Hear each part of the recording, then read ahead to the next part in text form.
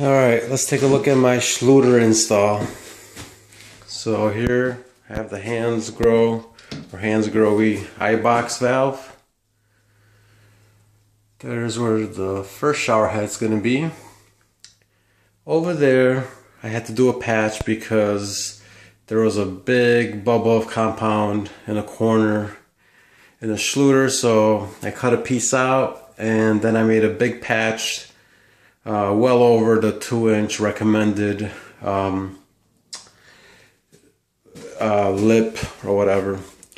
So then I just put some mortar on it so it could um, have a watertight seal all the way around. Um, of course, we got the shower niche. I also put in like a little flap over the edge just in case I know Schluter doesn't even recommend that, but since you can overlap things with the Schluter system, I decided to do it. Why not, right? So I just pre-folded it, cut it, put some mortar underneath, and just put it on. And, you know, pressed out the remaining mortar. So there's the smallest piece I had to do right there for the walls. And right here, um, it's not perfectly even where the sheetrock meets the HardieBacker.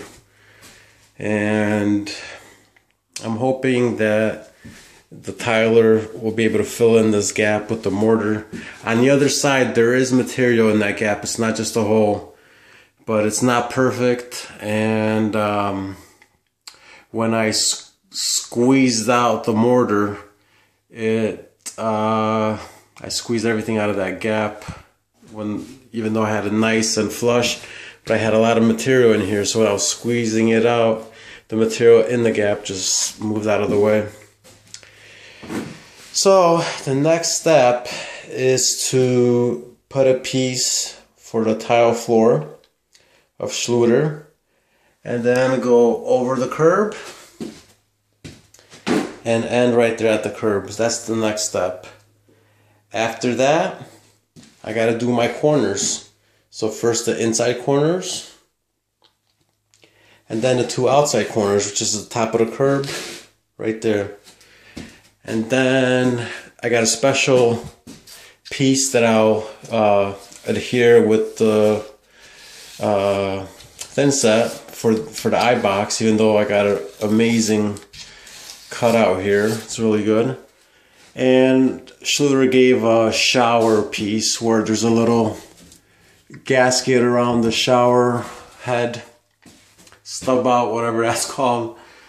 But anyways, guys, um, so that's my Schluter install.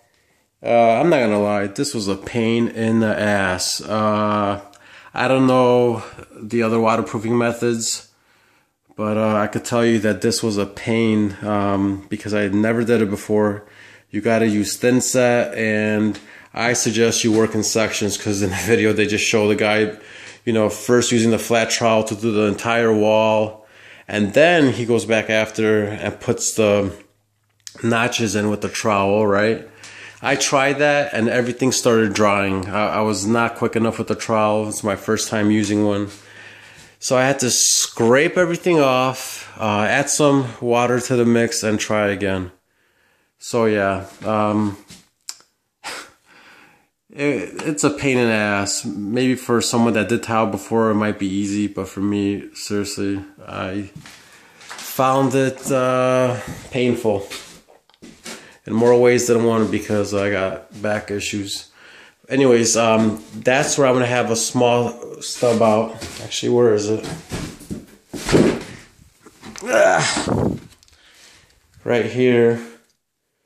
Basically, this is for the hand shower. So this is gonna stick out of the wall right there. Using that tube right next to there. And um, there's gonna be a pole mounted basically. And we're gonna put that pole right in the center. So technically you could turn on both shower heads at the same time and get like dual action from both sides. So can't wait for that to be done. Um, got my brother-in-law popping in from Sri Lanka. And uh, I won't be able to be here when the tile guy is uh, starting the tile. Um, so hopefully everything goes perfectly. I hope to publish this video soon so you guys could actually finally see what the heck I'm doing with this house because I am doing a lot of work.